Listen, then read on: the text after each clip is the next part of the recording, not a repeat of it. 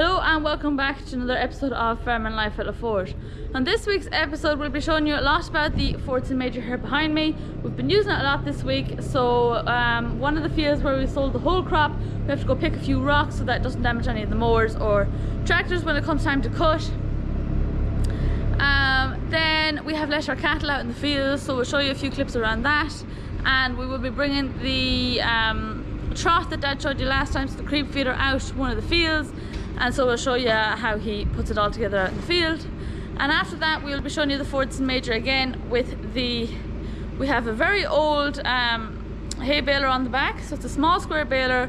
It's quite vintage and yeah that's going back to Ireland. So we're just going to show you guys a quick clip of it working. We'll put a bit of hay out in the field and get it in action see it working before it goes. And yeah be a nice little video for you as well so I hope you guys enjoyed today's video and don't forget to like and subscribe if you want to see more content like this.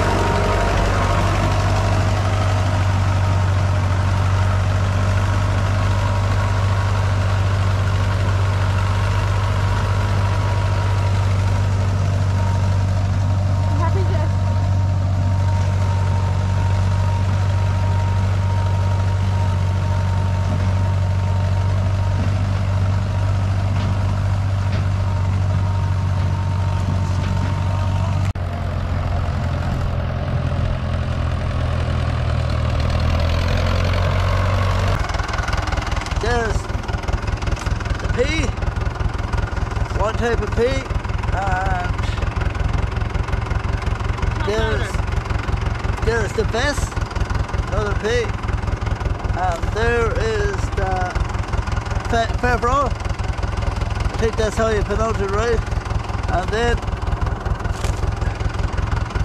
that's uh, Triticale and uh, wheat and there is Italian ryegrass then. The grass is down lower. So it's not bad. What's that? Two foot? I know, it's about uh, six inches. Now there is a few bare spots, but um, hopefully we'll get rain this week and it will be up there.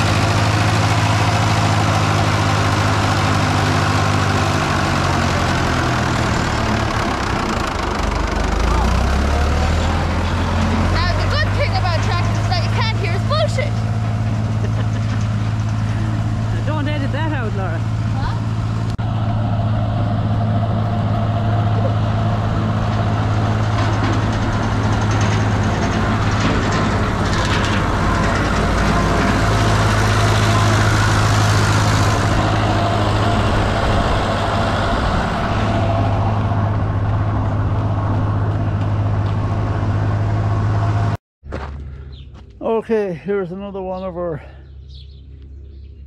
classic or vintage tractors. Super Major. Uh, one thing I'd never sa- said I'd do was to buy a tractor that someone had half was half at. But the guy that we buy the diesel for the tractors off, he uh, he loves vintage tractors and whatnot, and uh, well, he's more into MG cars and motorbikes. So he's always here looking at the tractors and he's always telling me where there's tractors parked and this and that.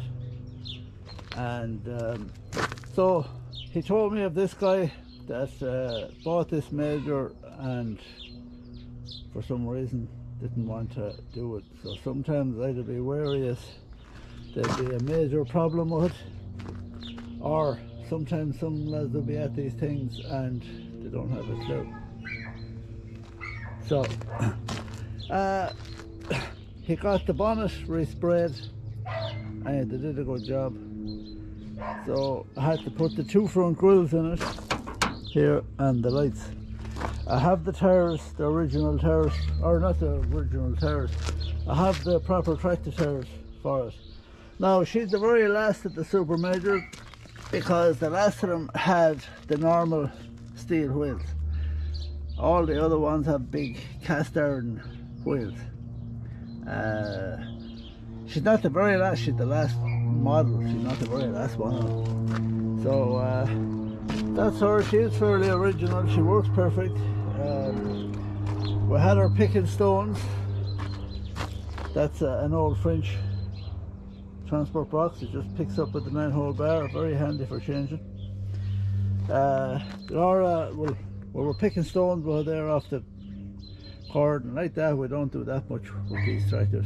It wants two back tires uh, but they'll do till the burst. The, the, the mud guards he got them sprayed as well but they shouldn't be uh, white. They should be cream. Kind of a, um, a grey white.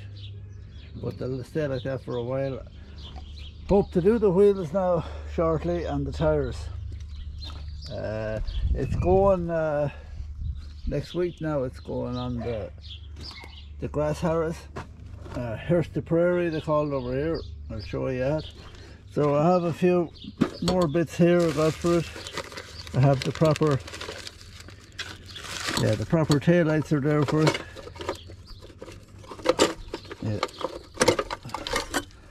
have the proper tail lights there to go on and a few bits and pieces like that. Uh, she's on the button. She came like that. I had to put that someone had uh, the wrong manifold on it so I've got that in the exhaust on it.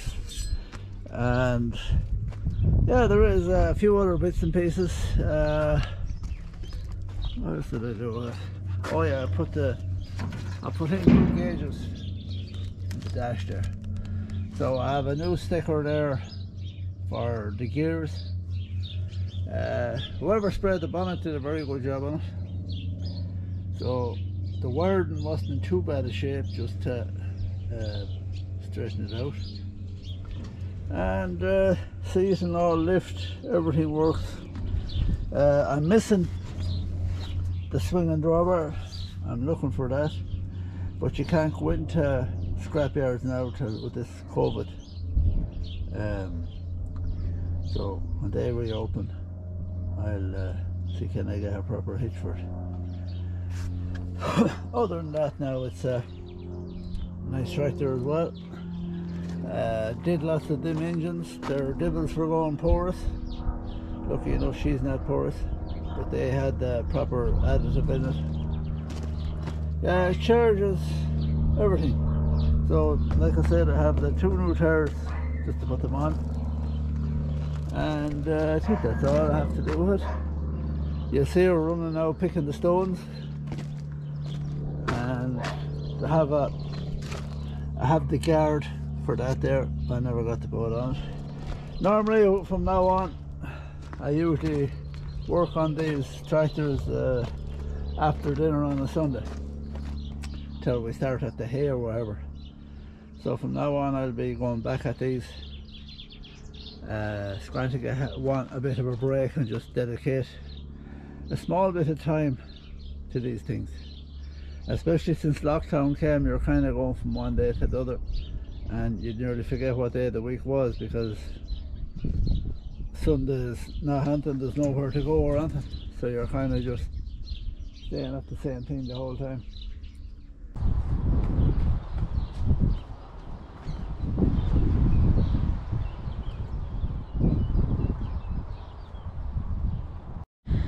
Okay, so with this fine weather, we have got a lot of our cattle now gone outside.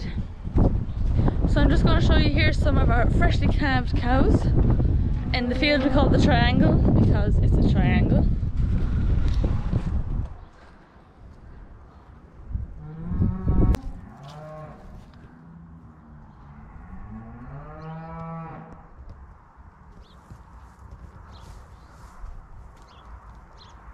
Them there, they're all running back to the calves. I'm not going to go in with them because they are freshly calved, but yeah, so they are here in this backfield. There's a Belgian blue off back there, but you more than likely can't see them. I have a few cows left to calve now,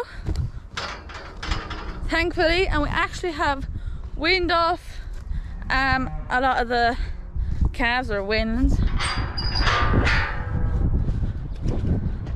So that was a bit of a noisy, noisy process. But so the cows that are freshly weaned, they're out here in the field that we call a field because before it was a field, it was actually a wood. Hi kitten. I just found a wild cat. So I'm now going to leave.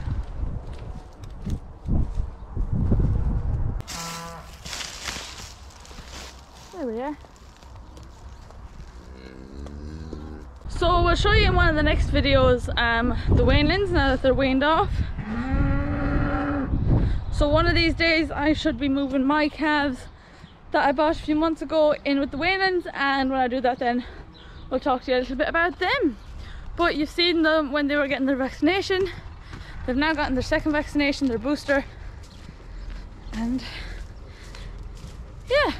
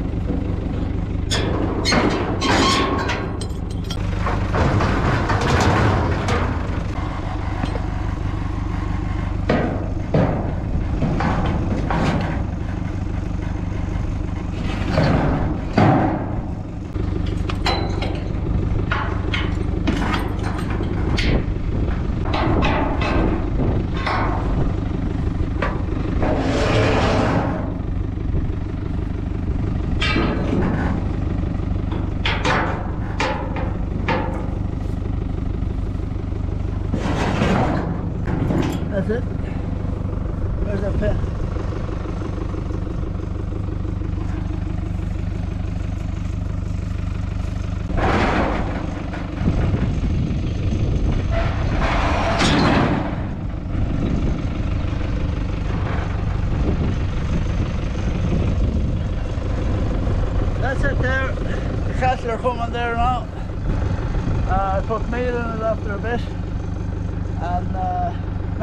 Day or two until the the cows get used to it. So there they are all coming down now.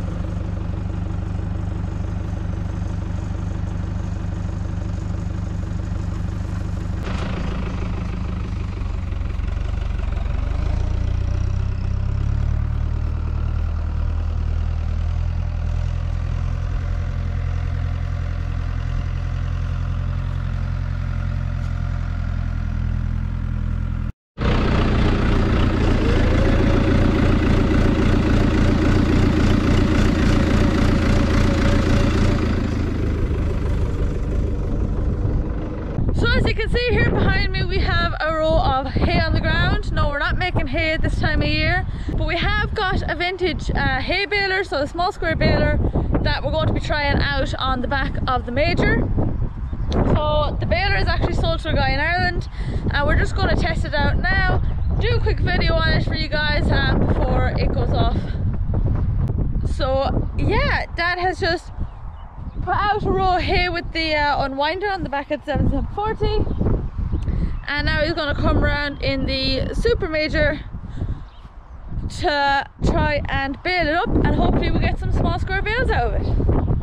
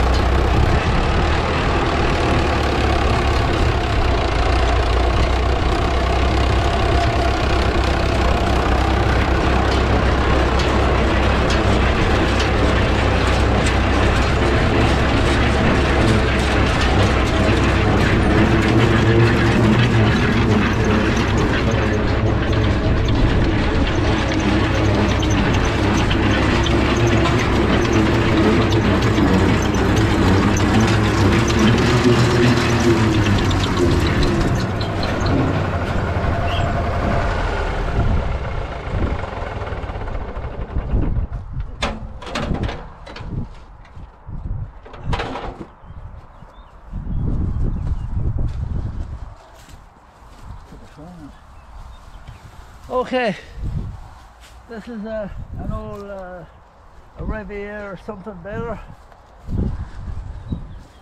Rivierre Casalis.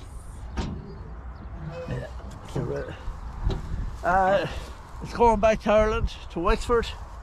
Uh, a fella called Tony has the boss. Uh, it does make, it doesn't make your normal square bales, but it makes them. Uh, they were mainly over here for just feeding a pony or a rabbit. It bailed that and I want to bail this. It just really bundles it up more so than bailing it. It works well. There's a stationary engine for it as well, but the stationary engine is not working. Um, what do you call it? It's very well made. It's a nice, well old, nice uh, machine to look at and see working. We just put it working here before it goes. It's going uh, in the next week, along with a couple of more machines back Ireland. Uh, someone put it that uh, it'll work on the tractor as well. I'm going to send back the old engine with it, but I don't think uh, it's workable. This is the second baler we sent back. The other one had an engine on it. Uh, went to, to Moore in Athlone. Uh, it was a McCormick. It was a very good machine. I'll show you the twine here on this. And hang on, wait for the wind to pass. And the wind pass. this is the the old twine and all with it. And uh, the six or seven spare balls with it. So he'll be able to make lots of you know, uh, hopefully he'll be able to use it this year. He plans to do it in um, on vintage rallies. He has a, I think, a vintage tractor, hopefully uh, it's working for on there made one, two, three, four bales. So, okay, as I said, they were designed, I think, just for uh, these small old barns years ago for uh, just bringing in a bundle of hay for horses or one or two cows the way it was done years ago. Uh, the guy that we got it off, he finished up, uh, um, he was feeding rabbits. They all fattened rabbits over here and he had a pony. So he was finishing up. So hopefully in a couple of years time he's selling, he has a spotless Ford 3000. Uh, never seen a 3000 clean in all my life. Look at the baler, uh, his father bought that baler new, he told me, and it's actually absolutely perfect. I have to look it to see how old it is, but I'd say it's older than I am. And uh, it's just a simple old machine, it's all there. Now, the last lad that bought the other um, baler, he told me that you can work these off a trasher as well. I don't know, I never worked a trasher, but uh, all this works here, lifts up and down the the pickup, no bother, and uh, the two adjusters at the back for adjusting the, the tension of the bale, they're seized. I'm not going to bother freeing them out. Um, so that's it. She hopefully the next time you'll see her being loaded up in the lorry, along with a hay turner and a plough, and uh, it'll be going back to Ireland. So uh, this is the I told you before about the major. So I still have a few bits of work to do with it, and uh, hopefully we'll get the back wheels done this year. There's no oil leaks, mechanically perfect, wearing is perfect, and uh, just a few bits of uh, cosmetic work really, and a few guards. I have all the pieces bought for it that I have to put on. The original taillights, I got them for it. So uh, she'll be finished. Plus uh, we have another tractor coming as well. Uh, so we'll tell you about that hopefully in the weekend. Uh, it's just we kind of hit on it. Uh, we hadn't planned to buy it. So I'll probably hang on to the next one for a bit till I can't keep all these tractors. I'd love to, but I don't want to. Or I can't really. So that'll do. Over and out. So what have we at here at all? Eh? What have we at with our big old bulber? This one has cold feet. Up there, cold feet. Yeah. Uh, as I said before, I'm missing the swing and drawbar for it, and I was trying over here. If anyone has one thrown in the shed, I would be interested in buying it.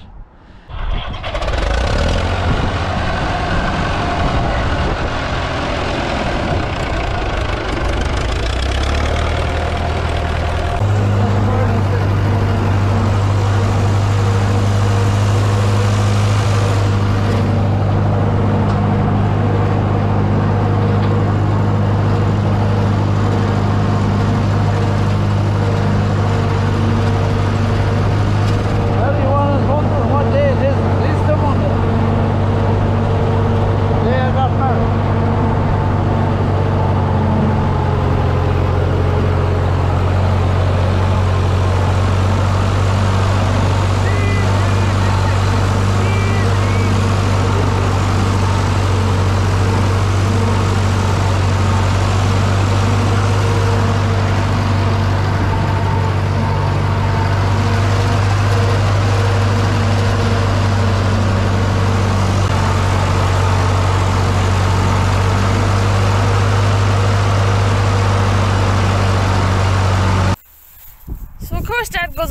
gets a bale in the field.